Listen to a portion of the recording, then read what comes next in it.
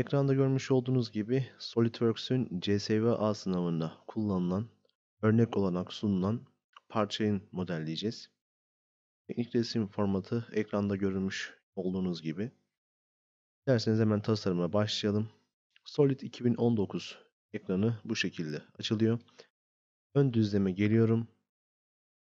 Merkez noktasından tasarıma başlayacağız.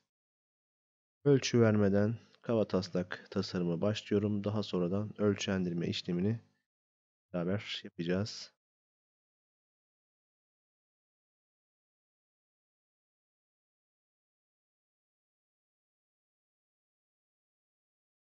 Noktaya geldim.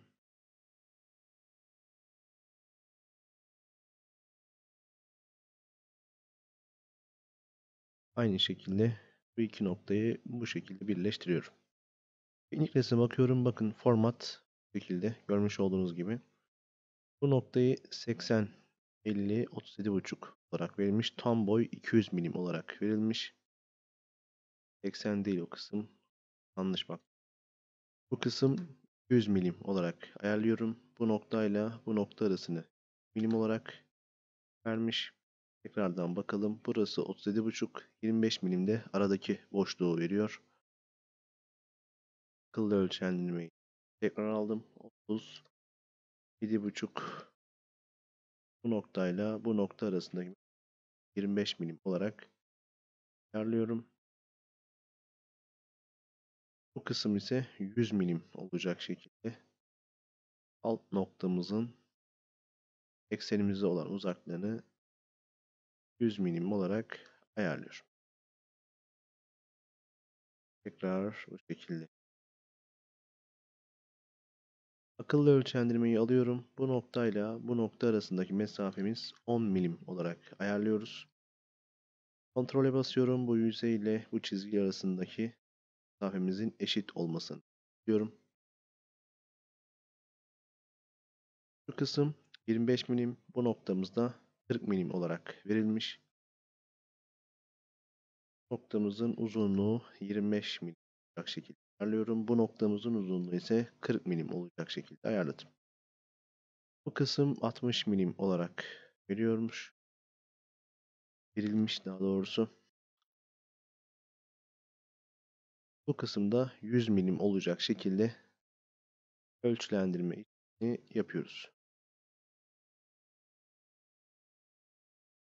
Ekstrüzyon boyumuz 100 milim olacak. Unsurlara geldim. Ekstrüzyon ile katı oluştur diyorum. Orta düzleme 100 milimlik katımızı şekilde verdik. Bu noktada ve bu noktada iki tane katı bloğumuz var. Görmüş olduğunuz gibi. İlk olarak bu noktayla başlayacağım. Bakın burada 20 derecelik bir açı olduğunu görüyorsunuz. 40 milimde merkez noktasının uç noktaya olan uzaklığını görüyorsunuz. Referans düzlemini daha önce göstermiştim. Bakın düzlem diyoruz. Bu noktaya tıklıyorum ve bu noktaya tıklayarak 20 derecelik açıyı vereceğiz. Tabii ki de tersi yönde olacak şekilde referans düzlemini vermiş oluyoruz. Referans düzlemine çizim diyerek dik bakıyorum.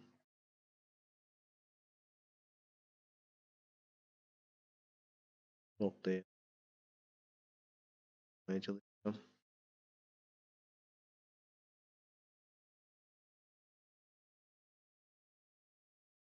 Dikdörtgen komutunu aldım. Uç noktadan bu şekilde dörtgenimi çiziyorum. Teknik resim ölçüme tekrardan geldim. Bu kısmı 15 milim ve bu noktanın yani parçamızın genişliği 50 milim olacak şekilde verilmiş.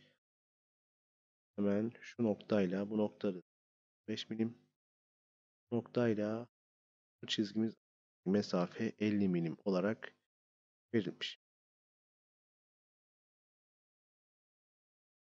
Merkez noktasından bu nokta 40 milim. Genişlik olarak da radius var görmüş olduğunuz gibi. 25 milim radius olacak şekilde uzunluğu 65 milim. Boydan uzunluğu. Olacak şekilde ayarladım. Unsurlara geldim. Katı modelimizi oluşturalım. Tersi yönde yüzeye kadar katı modelimizi vermiş oluyoruz. Şimdi Bunu referans düzlemini gizliyorum. Radius komutuna geldim.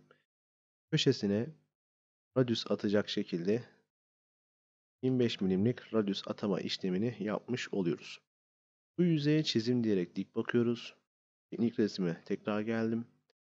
Bakın dış çapı 25 milim, iç çapta 12 milim olacak şekilde delik açacağız.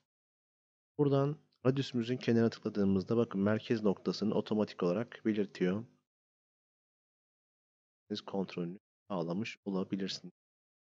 Çapı 25 milim, içteki çap ise 12 milim olacak şekilde çapı da ayarlıyoruz.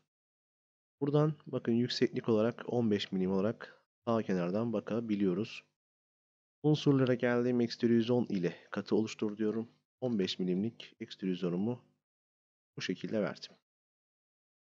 Şimdi bu kısma geldik. Referans düzlemi diyorum. Bu yüzeye tıkladım ve bu yüzey arasında hemen teknik resme bakıyorum. 30 derecelik bir açı olduğunu görüyorsunuz.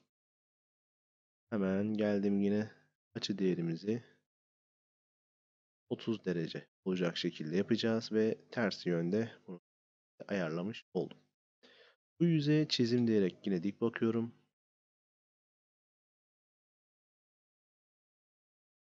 Bunun parçamızın genişliği 70 milim.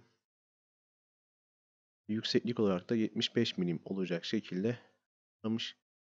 Buradan geliyorum. Noktayı noktayı yakalıyoruz. Akıllı ölçendirmeyi aldım. Genişliğimiz 70 milim ve parçamızın yüksekliği 75 milim olarak ayarlıyorum. Unsurlara geldim. Ekstrüzyon ile katı oluştur diyeceğim. Tersi yönde yüzeye kadar veya direkt katıyı oluşturabiliriz. Çünkü burada bir çıkıntı var. Bu şekilde katı modelimizi oluşturuyoruz. Kez tıklayarak bunu gizlemiş olalım. Radius komutuna geldim ve köşelerimize 75 bölü 2 milim olacak şekilde radius atama işlemini yanlışlık oldu. Tekrardan bakalım şöyle çap değerimize. Evet genişliği 70 35 milim olacak şekilde radius atama işlemini yapmış oluyoruz. Teknik resme tekrar bakalım. Merkez noktasından bakın bir deliğimiz var. Çapı 15 milim, dış çapta 25 milim olacak şekilde. Deliğimizin boydan genişliği 21 milim olacak şekilde ayarlanmış. 16 milim buradan, 5 milim de buradan 21 milim olacak şekilde deliğimizi delelim. Daire komutunu aldım. Bakın radyüsümüzün kenarına geldiğimizde çap değerini zaten delik merkezini otomatik olarak gösteriyor. Deliğimizin çapı 7.5'dan 15 milim yarıçap olarak verilmiş.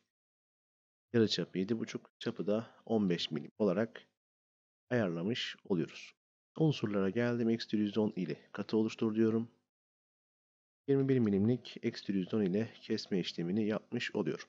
Tekrardan çizim diyerek dik bakıyoruz. Daire komutunu aldım. Çapı 25 milim olacak şekilde dairemizde verilmiş. Unsurlara geldiğim ekstrüzyon ile oluştur diyorum. 5 milimlik katımızda oluşturmuş oluyoruz. Orta çizgiyle tekrardan çizim düzlemi geliyoruz. Orta noktayla çizim diyorum.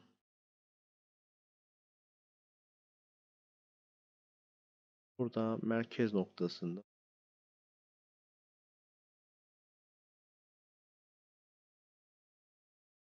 objeleri öteleme yapacağız. Ben tekrardan bakalım. Bakın burada genişlikleri 10'ar milim olacak şekilde verilmiş. Yani 5 milim sağ, 5 milim de sol olacak şekilde çoğaltma işlemini, öteleme işlemini yapmış olduk. Hemen bu kısmı da aynı işlemleri uyguluyorum. Objeleri dönüştür dedim. Dairemizin kenarını seçiyorum. Line komutunu aldım. iki noktayı birleştirdim. Aynı şekilde iki noktayı da birleştiriyorum. Bu şekilde bu iki noktayı da birleştirmiş oluyorum. Tekrardan bu noktalara geldim. Objeleri buda diyorum. Bu kısımları trimlemeye başlıyoruz. Kesme işlemini yapacağız.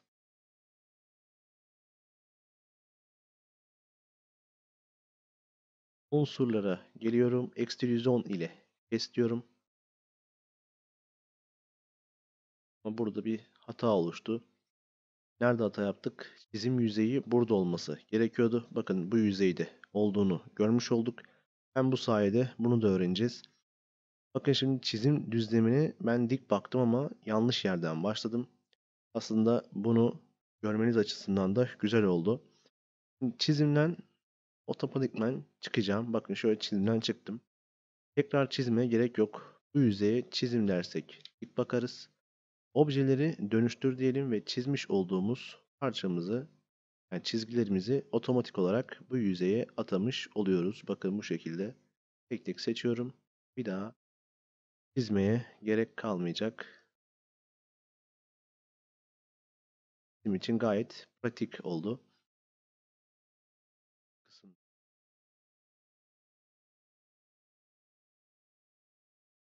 Objeleri dönüştür diyorum.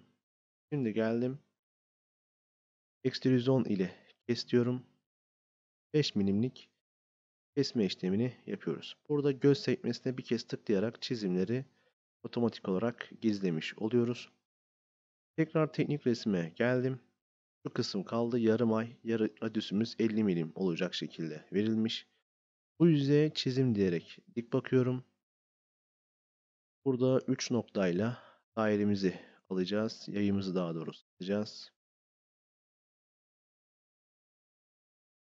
Buradan geldim. Bu noktayla bu nokta arasını bu şekilde bırakıyorum. Burada radius değerimizi 50 milim olacak şekilde ayarlamış oluyoruz.